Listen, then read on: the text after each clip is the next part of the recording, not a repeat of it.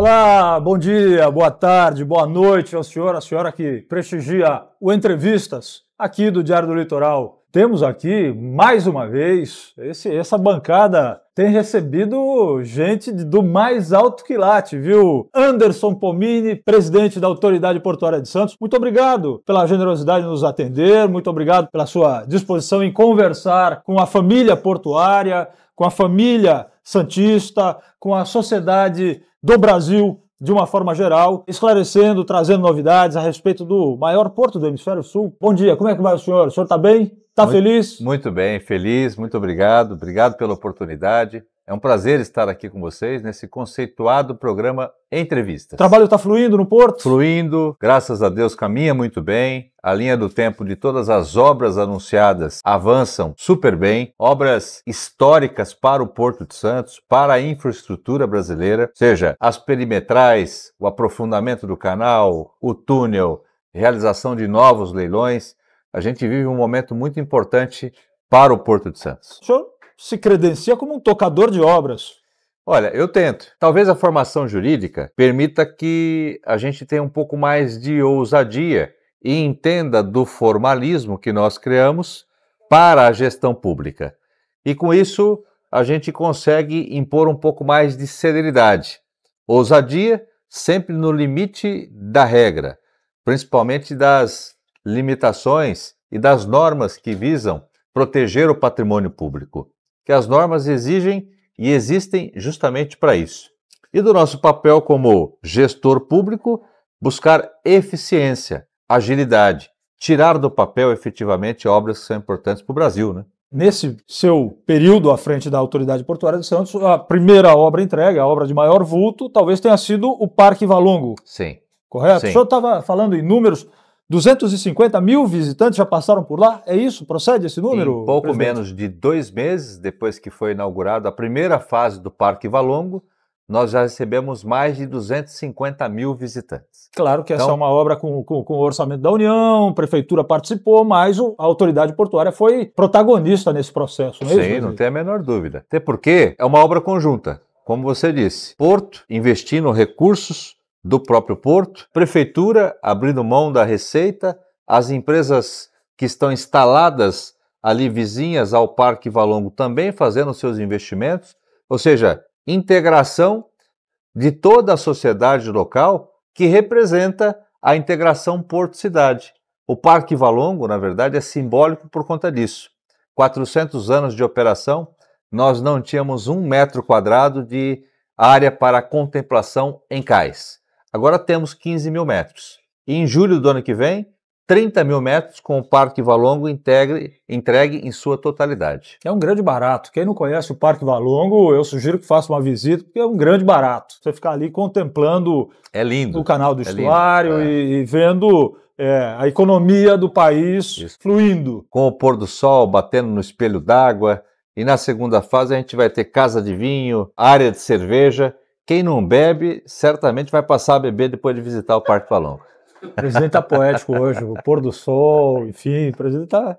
E, e a perimetral Guarujá? Então, veja, uma obra de 650 milhões de reais, segunda fase da perimetral.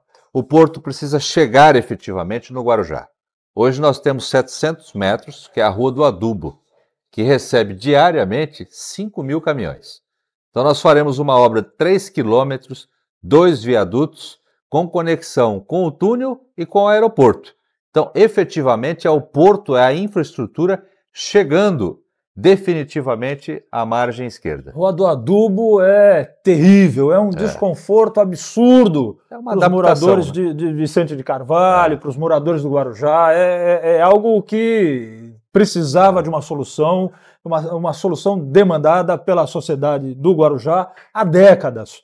Quando é que começa a obra? Quando é que termina? Por favor. Já contratamos o projeto, faremos a publicação do edital no primeiro semestre do ano que vem. A obra começa o ano que vem. É uma obra grande, 650 milhões de reais. Ou seja, uma obra que está no PAC. Então, pelo menos dois anos de obra, que vai casar, inclusive, com a construção do túnel. O aeroporto começa a funcionar em janeiro do ano que vem, retomado pelo ministro Márcio França, e a sequência foi dada pelo ministro Silvio Costa. Então, ou seja, obras importantíssimas para a infraestrutura, integração porto-cidade, turismo. O Porto de Santos fará um investimento histórico nos próximos cinco anos. 12,5 bilhões de reais. É o maior investimento numa janela de cinco anos no Porto de Santos. E a maior obra do governo federal, que é a construção do túnel Santos Guarujá. Eu já vou chegar lá no túnel, vou explorar esse assunto com o senhor, mas é, eu estive em fevereiro lá no Porto, quando a apresentação do material produzido pela sua comunicação, pela comunicação da Autoridade Portuária de Santos. Meu querido amigo Clóvis Vasconcelos apresentou esses números, permitindo uma visualização perfeita desses investimentos e são 12,5 bilhões em cinco anos Perfeito. a serem investidos no Porto. Eu me lembro que no dia 2 de fevereiro o presidente da República esteve em Santos e comparou esses dados, esses investimentos, com o valor investido nos últimos quatro anos. Aí vão dizer, ah, mas está é, falando mal do Bolsonaro. Não é. O senhor é um técnico. Claro. Quanto é que foi investido pelo governo federal nos, últimos, nos quatro anos que antecederam o governo Lula? Muito bem. A gestão pública deve ser comparada com os investimentos e os projetos que são apresentados. Então, nós elaboramos um plano de meta e pretendemos investir, já com linha do tempo, para cada uma dessas obras, próximos cinco anos, considerando inclusive o ano passado, 12,5 bilhões de reais.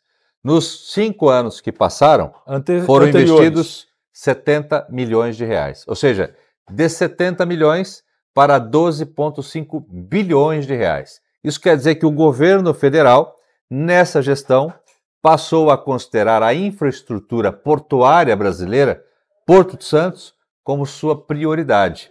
E nós temos a sorte também de participar desse momento histórico e a obrigação de nos apresentarmos com eficiência, que é o que nós defendemos. Provarmos que uma empresa pública deve ser eficiente. Aqui, claro, microfone, câmeras do diário abertas para que os representantes do governo Bolsonaro contestem, claro. contrastem claro. esses números apresentados por mim, pelo presidente da autoridade portuária, mas o fato é que Segundo os dados oficiais, 70 milhões investidos ao longo do governo Bolsonaro no Porto de Santos e a projeção governo Lula avançando um pouquinho além para um, um, eventual segundo mandato, aí 12,5 bilhões. Perfeito. É isso. Qual é o porto que vai ser entregue depois de todos esses investimentos? Qual é o porto que vai ser entregue para Santos, para a região e para o Brasil? Um porto mais competitivo, um porto integrado efetivamente com a sociedade local, com os 2 milhões de habitantes, um porto gerando prosperidade para uma área pobre de uma cidade rica, que é o Guarujá, ou seja, integrando efetivamente, deixando para trás estruturas do passado, que são as balsas de veículos, balsas de pedestres, resolvendo a vida de 80 mil pessoas que cruzam diariamente esse canal e um porto mais eficiente, que o nosso planejamento, ele, além do eixo integração porto-cidade, ele pretende integrar uma infraestrutura, integrar uma infraestrutura para os próximos 20 anos. O porto precisa crescer na sua infraestrutura. Crescer em área ou em produtividade? Infraestrutura, ambas, área e produtividade. Então, primeiro, perimetrais adequadas, que são as vias para o escoamento. O Porto de Santos, ele é uma peça, talvez a fundamental, na cadeia de logística brasileira. Mas é importante que ele cresça de forma harmônica com os modais. Então, as nossas vias para o escoamento adequadas, esta do Guarujá, 650 milhões de reais. Aqui na entrada da cidade, a construção de dois viadutos, 250 milhões de reais, já endereçados. Serão entregues os dois viadutos nos próximos dois anos, que serão construídos pela Eco Rodovias. Ou seja, nós assinamos um documento com o governo do estado e com a Eco Rodovias. Mas não é só. Aprofundamento do canal, já iniciamos com a publicação do edital da derrocagem das pedras. Então a gente vai aprofundar de 15 para 16 e na sequência de 16 para 17. Então a pista, que é o canal, estará adequada. E a pista para o escoamento também. Isso fará com que o porto se apresente ainda mais competitivo. E nós brigamos agora pela construção da terceira pista Planalto Santos. Como eu disse, o porto é um elo importante na cadeia de logística brasileira. É preciso que a gente tenha harmonia. Os modais cresçam ao mesmo tempo que o porto se apresente com maior capacidade de movimentação. Presidente, e o trem? E o trem? Quer dizer, a, a gente constrói uma terceira pista, imigrantes, rapidamente ela está sobrecarregada outra vez. Quer dizer, é importante a terceira pista. Claro. Não que a gente não seja contra, mas e os trens? Qual é o investimento nos trens? Esse modal que é, que é ambientalmente mais saudável, é, é mais produtivo. Como é que está essa situação dos trens? Como é que a, que a gente faz para que mais cargas cheguem ao Porto de Santos através dos trens. O que, Bom, que, que, que o senhor está trabalhando nesse sentido? Primeiro dizer que esse é um desafio absolutamente importante, porque se a gente está pretendendo que o porto se apresente com mais eficiência, os modais de forma adequada, é porque está chegando mais carga e está saindo mais carga. Ou seja, o porto está crescendo, gerando emprego, renda, fomentando negócios para o Brasil. Ou seja, é a economia do país sendo retomada. A nossa linha ferroviária corresponde a 30% de tudo que nós escoamos, do porto para o interior do país e vice-versa.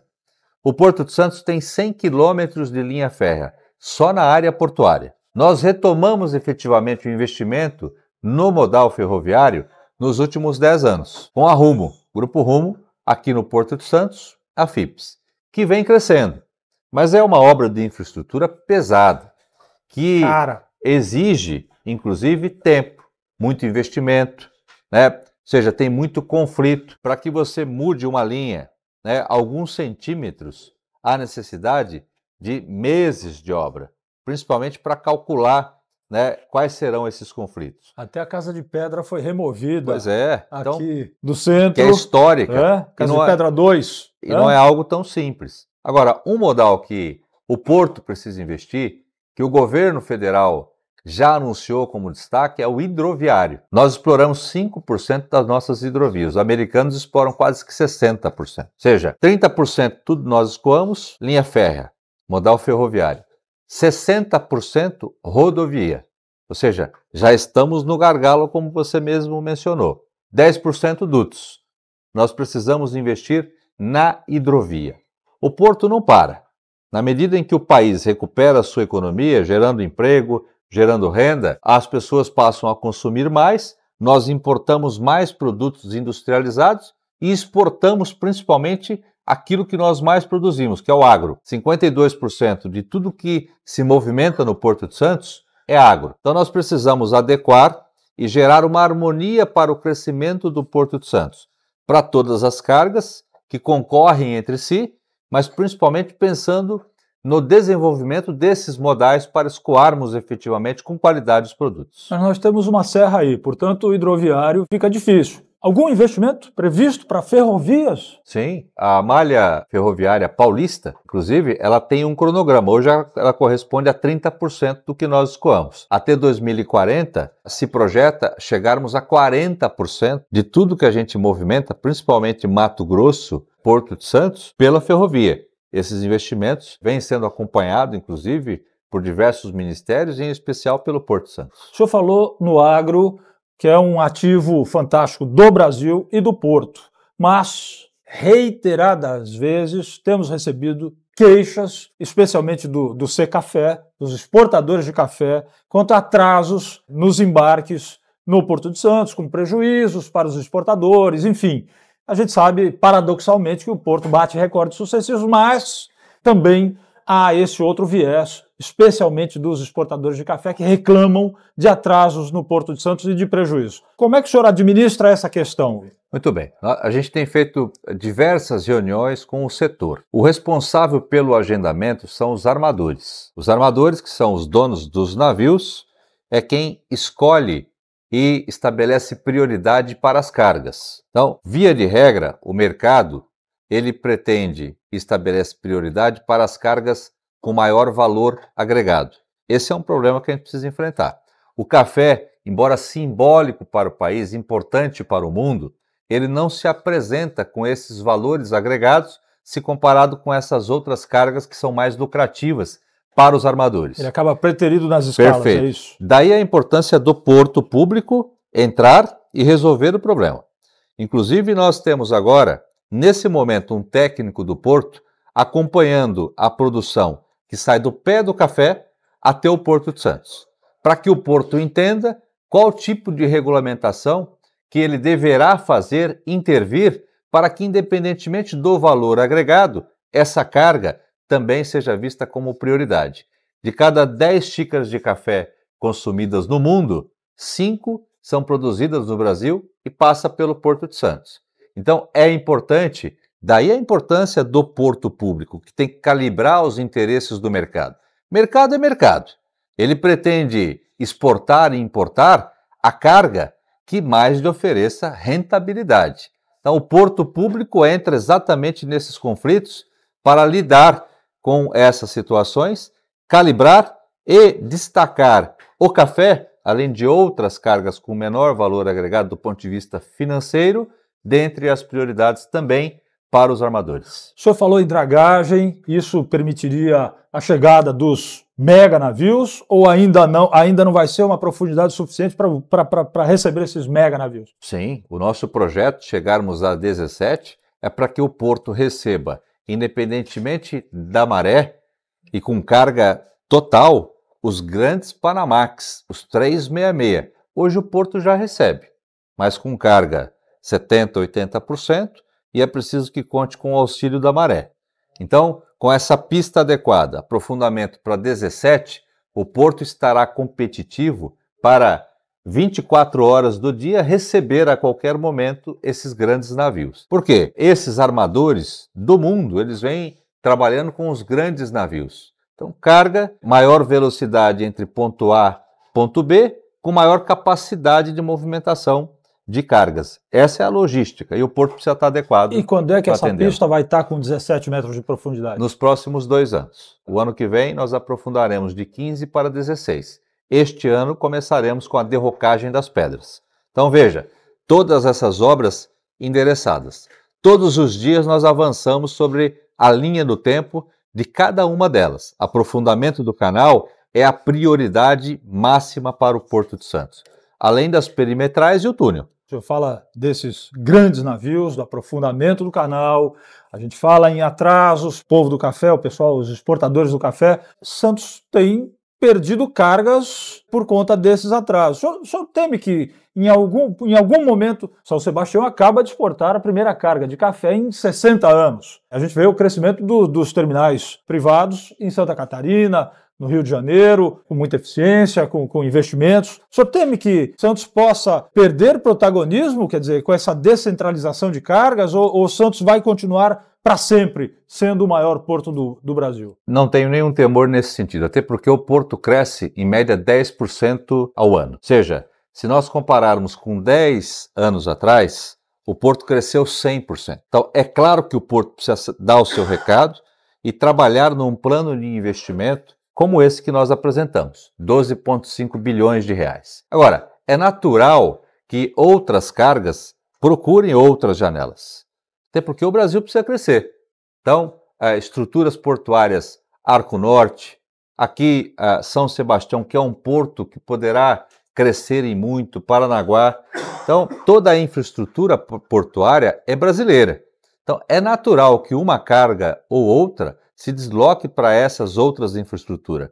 O resultado que deverá ser levado em consideração é a percentagem de crescimento da infraestrutura portuária. Fechamos agora o mês batemos o recorde: 4 milhões de containers movimentados até o mês de outubro. Então, nós bateremos o próprio recorde do Porto de Santos muito antes do ano se acabar. Então, esse é o resultado. Agora, claro, o quanto mais competitivo o porto se apresentar e maior a manutenção dessas cargas, esse é o nosso objetivo, que há uma concorrência saudável entre os portos brasileiros.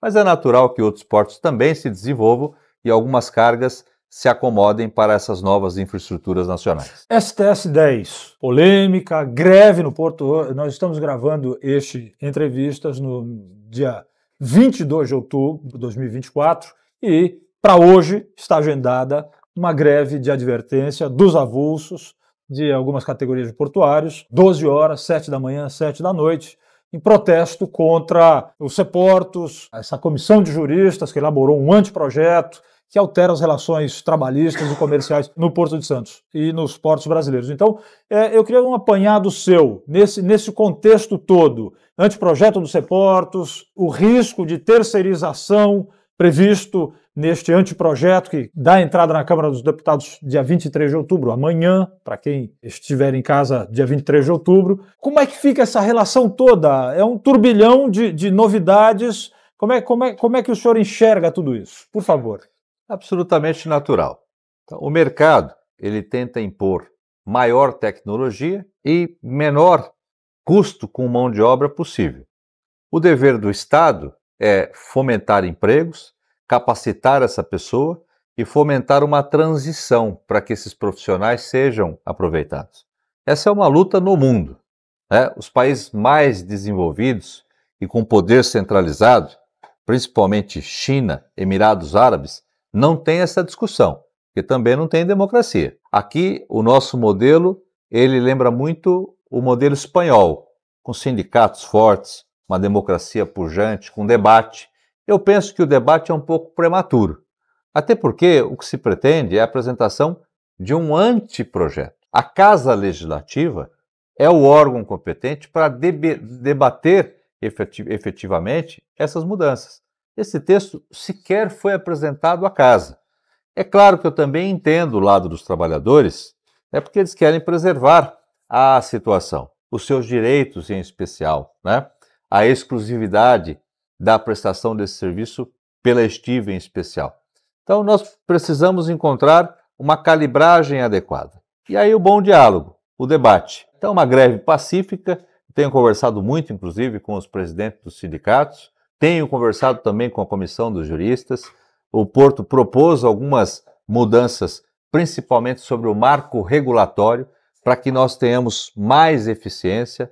Então, assim, eu vejo com absoluta naturalidade. É a democracia funcionando. Sempre que os sindicatos organizam essas manifestações e ah, o poder legislativo é provocado né, pelos portos em geral, é sinal que a democracia está funcionando bem. O senhor é a favor da terceirização ou o senhor é contrário à terceirização da mão de obra, como pretende o Seportos? Depende. Eu penso o seguinte: toda mudança legislativa ela precisa preservar, em especial, empregos e levar em consideração e reconhecer os esforços que foram feitos por esses trabalhadores que construíram essa infraestrutura. Então, cabeça do mercado visa sempre o lucro.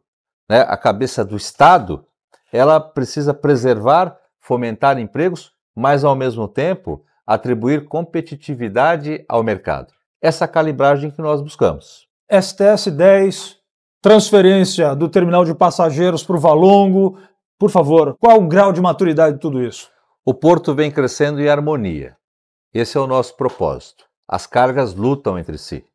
Então, nós pretendemos organizar o porto de forma adequada, transferindo o terminal de passageiros, que hoje está numa área com potencial para movimentação de cargas e não de pessoas, para uma área adequada vinculado ao centro histórico da cidade, fomentando o turismo, Parque Valongo. Nós já apresentamos o nosso projeto para a ANTAC, que está estudando os números, validando tudo aquilo que foi estudado durante esses anos. Mas a decisão política de transferência do Concais para o Parque Valongo já foi tomada. Preservada a área do Saboó, os 602 mil metros, que serão ocupados por um outro terminal, agora chamado TECOM 10, não mais STS 10. Ou seja, o porto cresce, principalmente para a importação de produtos industrializados, vindo geralmente por containers. Então, pensando nisso, nós instalaremos o STS-10, um outro terminal de container à margem direita, mas ao mesmo tempo com um gráfico que acompanha a linha do tempo com a construção dos dois viadutos. Que de nada adianta eu implementar um outro mega terminal à margem direita sem antes resolver o gargalo do Alemoa, a construção dos dois viadutos. Então essas notícias são importantes. O nosso papel é calibrar esse crescimento respeitando a cidade, integrando efetivamente os 2 milhões de habitantes que circulam a área portuária, mas, mais importante ainda, respeitando a linha do tempo para que esses modais possam crescer em sintonia com o aumento de competitividade e capacidade de movimentação de cargas do porto como um todo. O senhor fala muito em linha do tempo. Quando o terminal de passageiros estará funcionando no Valongo? Quando o STS-10 ou TECOM 10 vai estar operando plena capacidade? Ambos, da, ambos daqui a quatro anos. Não só transferência do Concais, no máximo em quatro anos, leilão e efetivamente o funcionamento do STS-10 daqui a três a quatro anos, construção dos dois viadutos na entrada da cidade daqui a três, quatro anos, túnel Santos-Guarujá no máximo em três anos, aprofundamento do canal em três anos, as perimetrais resolvidas também no máximo em três anos. Nós trabalhamos com a linha do tempo que justamente tem a conexão entre uma obra ou outra. Por quê? O porto precisa estar sintonizado com a capacidade para o escoamento dos produtos.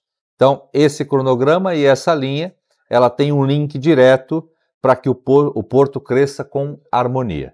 Esgotamos nosso tempo, mas, última pergunta, o senhor disse que tinha um colega, meu, meu querido amigo Cláudio Vasconcelos, me disse que o senhor tem uma novidade importante a respeito de granéis líquidos, é isso? Perfeito. Por favor. Pensando no crescimento do Porto de Santos, nós retomamos há 15 meses atrás os estudos para a realização de um leilão de uma área no Alemoa, ou seja, com tancagem, com berço de atracação de forma adequada, para que a gente tenha maior competitividade e maior capacidade de movimentação de granéis líquidos no Porto de Santos.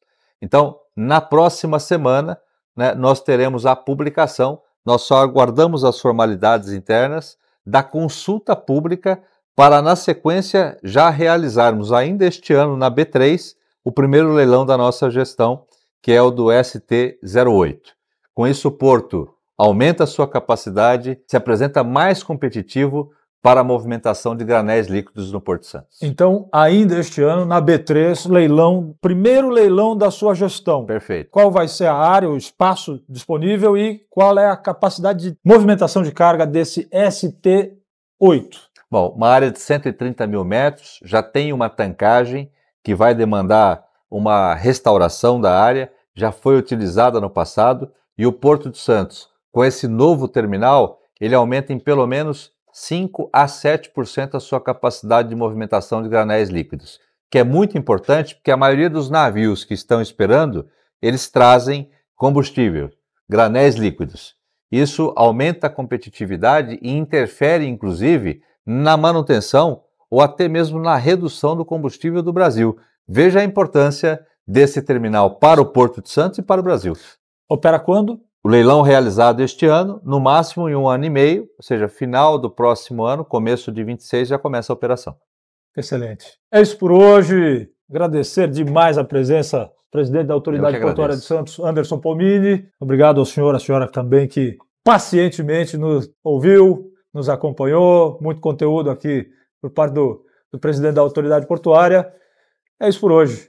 Muito obrigado e nos vemos no futuro. Obrigado.